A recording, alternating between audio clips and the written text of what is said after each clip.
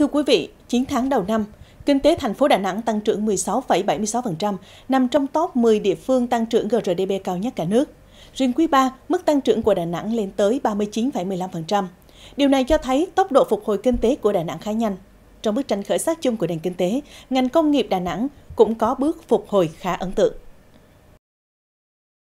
Là doanh nghiệp chuyên sản xuất và cung cấp các sản phẩm làm từ bột quế nguyên chất, vừa xuất khẩu vừa kinh doanh thị trường nội địa, công ty trách nhiệm hữu hạn Hương Quế cho biết hiện đã kiến đơn hàng đến hết năm 2022 và đang xúc tiến đơn hàng cho năm 2023. Xuất khẩu thuận lợi, thị trường nội địa hiện đã khôi phục được khoảng gần 80%. Điều này minh chứng rõ nét nhất của việc phục hồi kinh tế sau dịch. Sau lưng tôi là các cái đơn hàng của các cái hệ thống khách sạn du lịch từ đảo Phú Quốc cho kéo dài Quảng Ninh đang lần lượt xếp hàng theo từng đơn hàng một. Đơn hàng liên tiếp và được tăng trưởng rất là rất rất rất rất là nhanh. Đây là cái tín hiệu rất tốt ờ, mang lại nhiều cái việc làm cho công nhân rồi mang lại cho doanh nghiệp là có thêm cái về lợi nhuận Thực hiện thích ứng, an toàn, linh hoạt, kiểm soát hiệu quả dịch COVID-19, các doanh nghiệp đã chủ động hơn về lao động và kế hoạch sản xuất kinh doanh, khắc phục khó khăn để phục hồi, mở rộng sản xuất. Do vậy, sản xuất công nghiệp trên địa bàn Đà Nẵng đã có bước phát triển với tốc độ cao hơn bình quân cả nước. Theo số liệu từ Cục Thống kê thành phố Đà Nẵng, 9 tháng đầu năm nay, chỉ số sản xuất công nghiệp của cả nước tăng 9,63% so với cùng kỳ năm 2021, thì Đà Nẵng tăng 11,67%.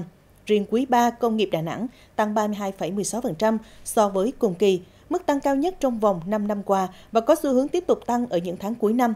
Trong đó, công nghiệp chế biến chế tạo tăng 32,9%. Chỉ số sản xuất công nghiệp 9 tháng đầu năm 2022 tăng trưởng 11,7% cho thấy hoạt động sản xuất công nghiệp đang trên đà phục hồi và có xu hướng tăng trưởng nhanh. Trong đó công nghiệp chế biến chế tạo là động lực tăng trưởng của ngành công nghiệp tình hình sản xuất công nghiệp đã có dấu hiệu phục hồi và các chuỗi cung ứng đã được kết nối trong lĩnh vực công nghiệp chế biến chế tạo ờ, thông qua việc sản lượng sản phẩm và số lượng đơn hàng mới gia tăng. Điều đó cho thấy là sau dịch hoạt động sản xuất công nghiệp cũng đã phục hồi rõ nét thể hiện qua việc à, các con số các chỉ số tăng trưởng đã tăng qua các à, quý quý sau cao hơn quý trước cụ thể như như quý 3 thì tăng 32,2% so với cùng kỳ kim ngạch xuất nhập khẩu của Đà Nẵng cũng có sự bứt phá. Nếu như kim ngạch xuất nhập khẩu 9 tháng qua của cả nước tăng 15%, thì Đà Nẵng tăng đến 21,6%. Trong đó, kim ngạch xuất khẩu hàng hóa cả nước tăng 17,3%, thì Đà Nẵng tăng đến 27,3%. Cảng cần thương mại hàng hóa tiếp tục duy trì đà xuất siêu với mức 515 triệu đô la Mỹ, tăng 69,9% so với cùng kỳ năm trước. À, với đà tăng trưởng như hiện nay, thì chúng tôi kỳ vọng trong thời gian đến hoạt động sản xuất công nghiệp sẽ tiếp tục tăng trưởng và phát triển. Về phía Sở Công Thương, chúng tôi sẽ thực hiện mạnh mẽ và hiệu quả hơn nữa các chính sách về phát triển công nghiệp của ngành như hỗ trợ doanh nghiệp trong lĩnh vực phát triển công nghiệp hỗ trợ, đưa các cụm công nghiệp đi vào hoạt động để tạo điều kiện và mặt bằng sản xuất kinh doanh cho doanh nghiệp ờ, thực hiện các chính sách, các chương trình về xúc tiến thương mại, xúc tiến xuất khẩu để tạo cơ hội cho doanh nghiệp tiếp cận với thị trường mới.